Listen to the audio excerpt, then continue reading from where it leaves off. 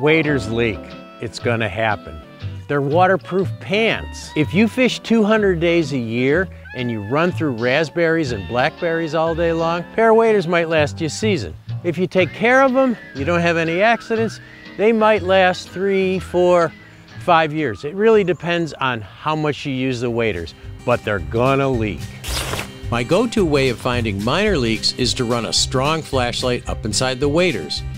The leaks will show up pretty easily. Indicate any pinholes of light with a marker. So for hard to find leaks, like sometimes in the boot of a wader, uh, it's leaking along the seam and you can't find it, there's another method. You need a shop vac where you can reverse the hose so it blows air.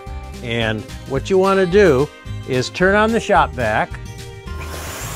You want to constrict the uh, leg of the wader around that shop vac, not too tight, but just so it blows up like a sausage.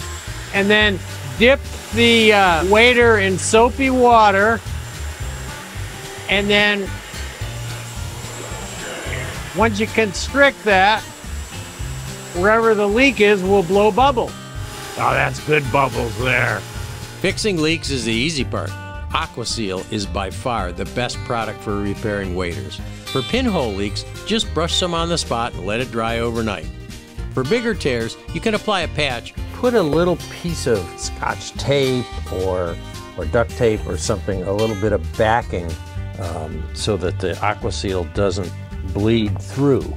And then I'm going to turn them inside out, coat the tear with Aquaseal giving yourself some overlap to put that patch over the top. Place your patch over your tear. And you could probably leave it like that, but I like to put an extra coat of Aquaseal over the tape just to make sure.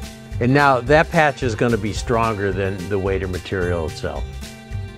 So if you don't want to repair waders yourself, I find it kind of fun. I enjoy it. If you don't want to do it yourself, Orvis has a repair service that will put a professional repair on your waders using waterproof seam tape and all the real good technology. They use Aquaseal as well, uh, but they do a really, really nice, clean job of repairing waders.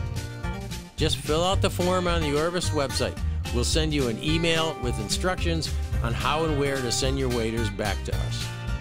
Don't suffer from cold, clammy legs. Fix your leaks or let us do it for you.